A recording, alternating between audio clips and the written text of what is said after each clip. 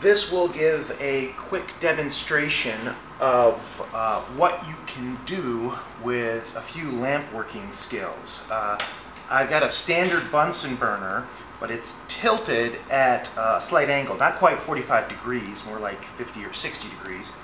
Uh, this is soft glass, uh, which is a formulation of glass uh, that will uh, be workable uh, under these conditions.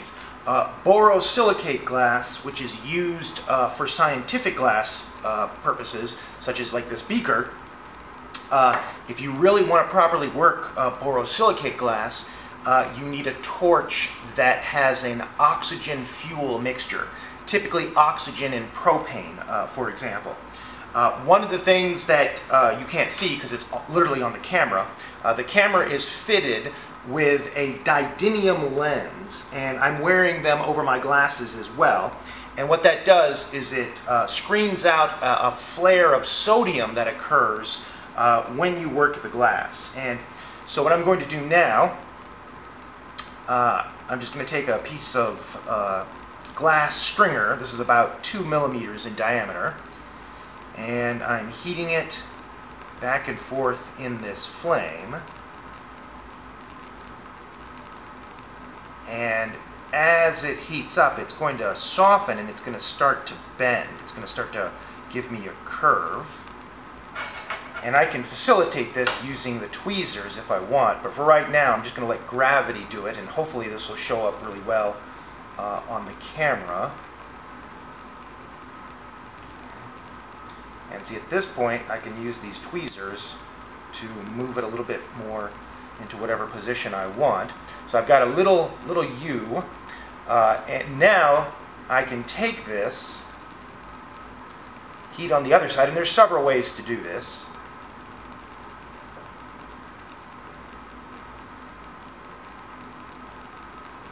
I heat, and I'm going to come out of the flame so you can see what I'm doing a little bit better, and then I touch these two ends together, and now I have the beginning of a chain link. So if I heat, again using my tweezers to hold, and pull and separate, so spinning around, so now I've, I've freed this loop.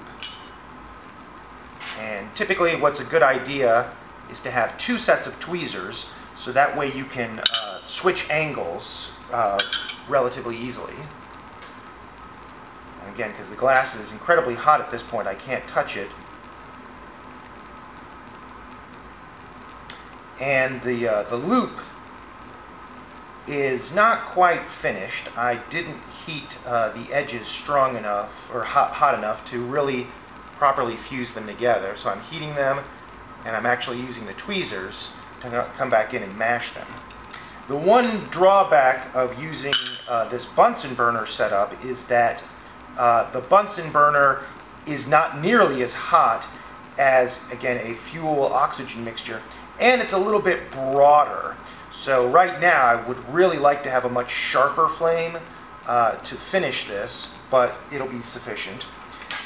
If you want to shape the glass a little bit, you can take a piece of graphite and actually make some adjustments. So this particular loop is not fantastic. I could come back and continue to make adjustments uh, as, uh, as I see fit. Uh, but to convert this loop into a chain link, well, you just repeat the process. You make another loop and insert it in, and I'll do that right now. This, I've got some uh, scrap uh, pieces of uh, soft glass, so that's what I'm using. Also something to take a note of, uh, for some of the colors, as they heat up, you can see them change color. Uh, many of the yellows uh, will turn red, uh, or even black as they heat up, and uh, often the reds will turn black. Uh, the metal oxides that are within uh, the glass respond to heat. in fact, in some cases, you can have a uh, segment of glass that looks colorless, but then once you heat it in the flame, you will see it uh, change colors. So now I've got another loop, and you can see this has gone from black back to red. So now I can just basically insert this in here. And now I just need to be very careful of how I position my hands to get everything in the right uh, uh, part of the flame. So I'm just heating this up, and the reason why is I want to bring it down to close the loop. There we go. And even though my loop is not looking fantastic at this moment, that's okay uh, because what I can do is continue to heat it and shape it after the fact, after I've sealed it.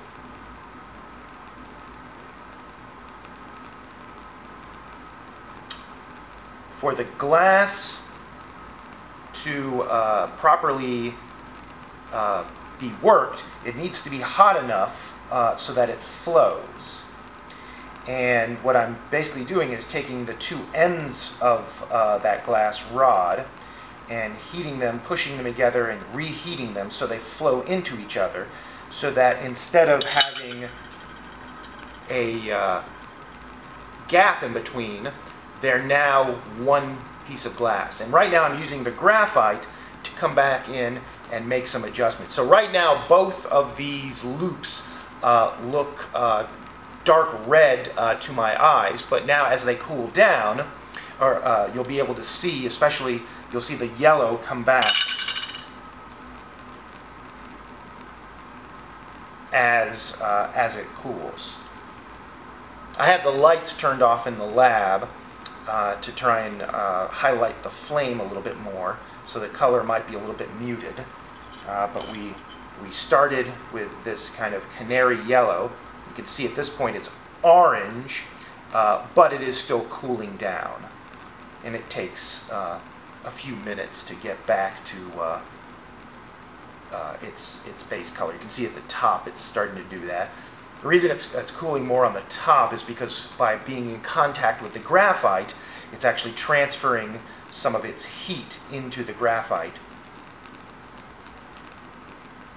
But it's still too hot for me to touch without burning myself. But there you go. So, uh, and I could come back and clean up, uh, especially the, the first loop, the red one, a little bit if I wanted to. But once you've made your first link, uh, that gives you a lot of experience right there of uh, shaping glass and fusing it. And then you make your second link where now you're interconnecting uh, two links. Uh, and then you're off to the races because once you've made the first you know, two links of your chain. Now it's just a matter of repeating. And what you'll find is that as you progress, uh, you should get better. In this case, because I'm, I'm kind of rusty uh, and just not very good, my first link wasn't uh, fantastic. My second link was much better. And presumably my third and fourth and fifth link uh, will get more consistent and hopefully be better. So uh, just uh, a few seconds of practice uh, uh, of, of heating the glass and shaping it, uh, being a little bit patient with it, uh, will pay off as if you dedicate uh, uh, enough time, uh, you can start making much, much more sophisticated glass uh, structures. Uh, this is a rod about seven millimeters in diameter of colorless soft glass. And the thicker the rod is, the more difficult it is to work using uh, a Bunsen burner. So typically what I'm going to give you to uh, experiment with will be thinner rod. But just to show that you can actually start getting much more creative once you've done a, a few uh, uh fundamental drills on uh, glass blowing, uh, if we have two types of soft glass, you know, different colors, uh, we can we can combine them. So now what I'm doing is I'm taking some of that red that I used for one of the chain links and I'm streaking it onto the colorless And I have to be careful at this point uh, because as I layer one piece of glass onto another, if I don't keep them hot, uh, the stress that forms will cause them to break. So if you look carefully, you can see there's a little high spot at the very end of my streak. Uh, and so what I'm going to do is I'm going to I'm going to mash that down. And the reason why is if I don't, that will be the point at which it causes the glass to break. And then I'm going to come back and heat that entire new section up till it becomes glowing. And that indicates that uh, the two pieces of glass are now fused, uh, and that should minimize stress. And for uh, no particular reason, I just took my tweezers and I straightened out the line because it had a little bit of a curve to it. So it's molten enough that I could take it and uh, move it back in. Uh, I, this is just a, a, practice piece, so I don't really have anything particular I want to make with it, uh, besides, like I said, just, just demonstrating the, uh, the effect. And I think what I'll do now uh, is I'll take some of the yellow and I'll streak it onto the opposite side. Again, show what I'm doing.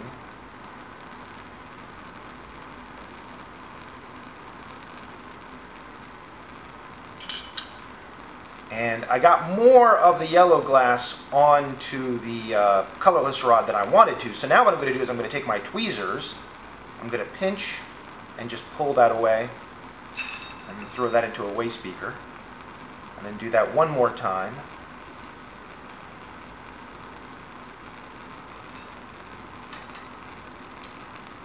And then I'm going to get it hot again, and then push it back down, and then go from there.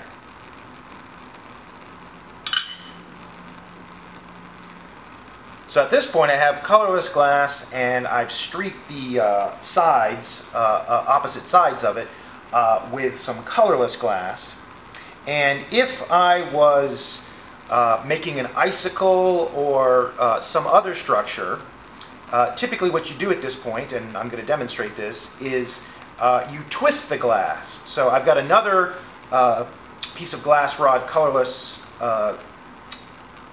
soft glass, that I'm going to use as what's known as a punty.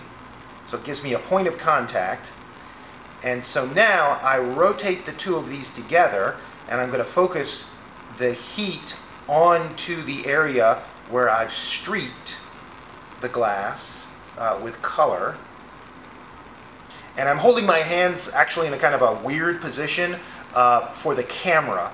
Normally I would not hold the glass as I'm doing it right now uh, I would be more like in this position, but I'm trying to uh, give you a better angle of what's going on. So now I can take it, give it a little pull, and twist.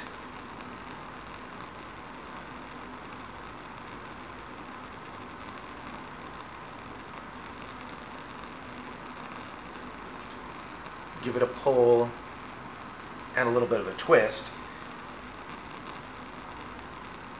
and just keep repeating that uh, until I'm either completely used up all the glass uh, that has the color on it uh, or I'm just happy with, with what I have. So.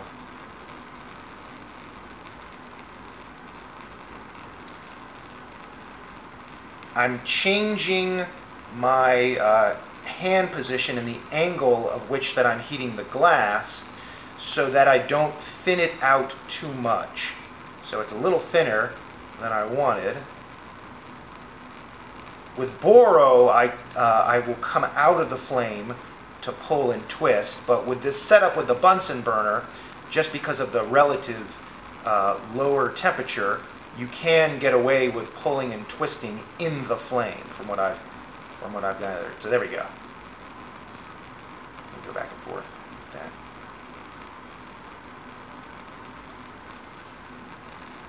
So you can see I've, I've basically made uh, a little helix. I've got the glass twisted uh, and I'm tapering it as well uh, to thin it out. This is uh, one of the uh, uh, methods to make something decorative like an icicle or a pendant uh, or whatever, whatever you want. And as a bonus, I'm going to put a loop on the end. So what I want to do is I want to pull out some of this colorless soft glass. I want to thin it out a little bit. And as I'm rotating, I am gently pulling, and that does help thin out the glass.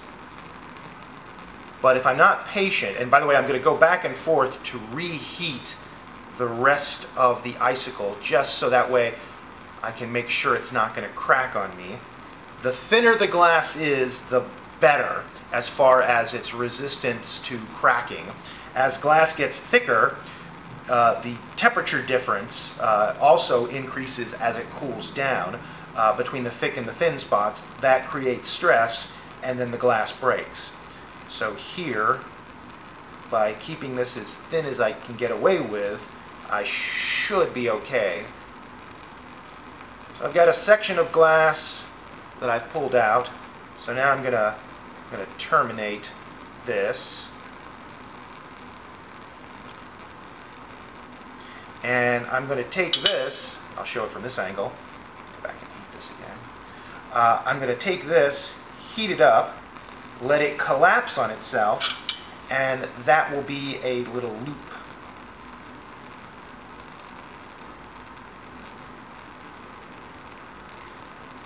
I've made many icicles before using borosilicate. Uh, this is uh, one of the uh, few attempts I've done this with uh, soft glass. So it's, it's a learning process even for me at this stage. take this, give it a little pull.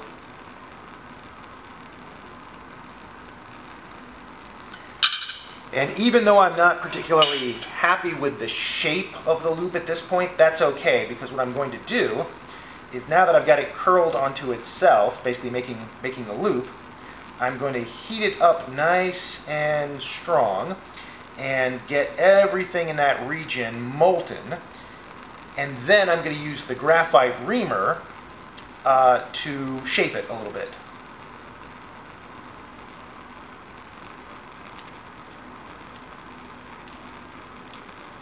There we go. And this does take, again, practice. Uh, the more experience you have, the better, and patience.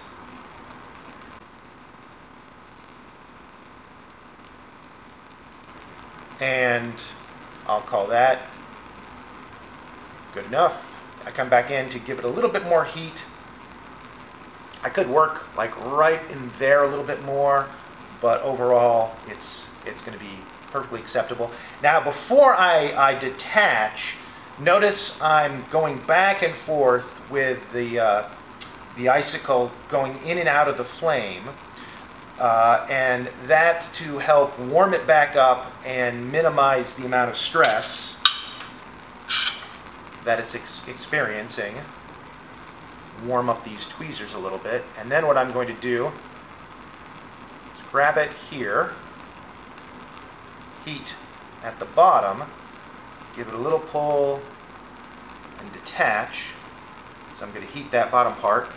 And now I can set this aside uh, to cool. I'll take a photo of it once it's cool.